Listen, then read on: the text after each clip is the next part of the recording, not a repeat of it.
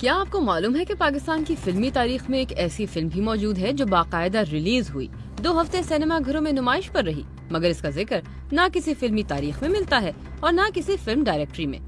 अगर नहीं जानते तो कोई बात नहीं, क्योंकि इसके लिए हम है ना। आप सुन रहे हैं हुदा इकराम को और ये है बीबीसी उर्दू की पॉडकास्ट।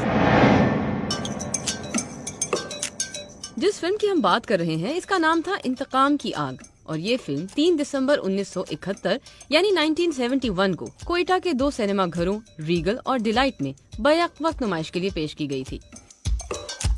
ये 1970 के लगभग की बात है जब कोयटा के चंद जवानों ने अपने फिल्मी शौक की तस्कीन के लिए एक फ़िल्म बनाने का आगाज़ किया। इस फ़िल्म की कहानी लोरा लाई के एक बाहिम्मत सपूत, शेर खान के हालात ज़िंदगी पर मबनी थी। फ़िल्म के हिदायतकार फ़िल्म साज और कहानी निगार एक ही शख्स थे, जिनका नाम है अब्दुल रजाक जो ए आर खान के नाम से भी जाने जाते हैं। वो आज भी कोयटा में ही रहते हैं। इस फ़िल्म की मौसीकी खुदाए रहीम परेशान ने मुरतब की थी, जबकि नगमात अताशाद ने तहरीर किए थे। फ़िल्म में चार नगमात शामिल थे। इन चार नगमात में से तीन निघत सीमा की आवाज़ में रिकॉर्ड हुए थे, जबकि चौथा नगमा अफ़गानिस्तान के मशहूर गुलकार नाशनास ने गाया था।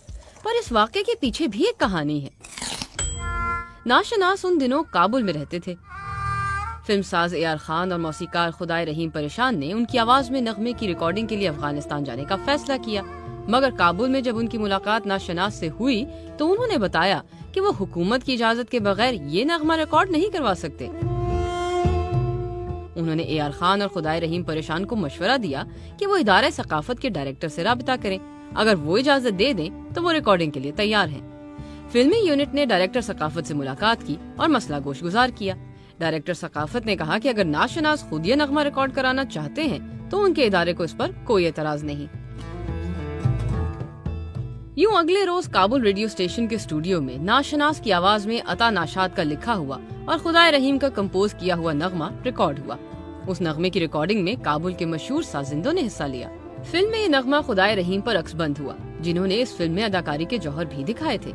इस नगमे के बोल थे गम मोहब्बत, गम जमाना, हज़ार तीर, एक दिल निशाना। फ़िल्म इंतकाम की आग की मेन कास्ट में ए आर खान, नौरीना, चंगेजी, उस्ताद मोहम्मद शफी, आफ्ताब ख्वाजा, चंदा, मोहम्मद यूसुफ, मोहम्मद हुसैन और खुदाए रहीम शामिल थे। फ़िल्म की अंदरून खाना अक्सबंदी ए सईद ने की थी और बैरूनी मनाजिर की अक्सी में उनका साथ एफ़ मामा ने दिया था। फ़िल्म के बैनर्स और होर्डिंग्स कोयटा के मशहूर मुसविर और फ़िल्म में अदाकारी के जौहर दिखाने वाले उस्ताद मोहम्मद शफी ने तैयार किए थे। फ़िल्म तो तैयार हो गई, मगर उसके साथ बदकिस्मती ये हुई कि उसे ईद उल फितर पर उस साल 20 नवंबर को रिलीज़ करने के लिए कोई सिनेमा नहीं मिल सका।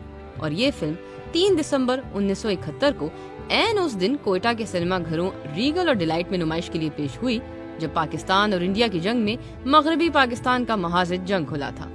लोगों ने फ़िल्म को देखने के लिए सिनेमा घरों का रुख किया और अपने शहर में बनने वाली फ़िल्म को सराहा भी।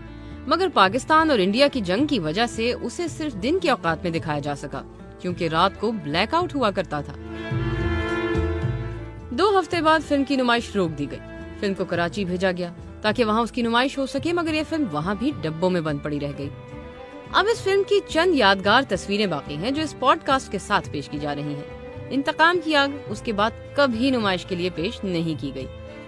अजीब बात यह है कि किसी फिल्मी मौरख ने भी इसका ज़िक्र कभी नहीं किया। और फ़िल्म डायरेक्टरियाँ मुरतब करने वाले महक्कीन खसूस यासीन गोरीजा को तो शायद इस फ़िल्म के बारे में कभी इल्म ही नहीं हो सका। हमें भी शायद कभी इल्म ना होता। अगर हमारी मुलाकात उस्ताद मोहम्मद शफी के साहबजादे मोहम्मद कासिम खान अजमी से न हुई होती। इस पॉडकास्ट में जो भी लवाजमा पेश किया गया है, वो उन्हीं का अता करता है, जबकि चंद तस्वीर के लिए हम मोहसिन शकील के शुक्रगुजार हैं। इस पॉडकास्ट के स्क्रिप्ट के मुसनफ है महक्क और मौरख अकील अब्बास जाफरी। आप उनका तहरीर करदा article BBC Urdu dot com पर भी पढ़ सकते हैं।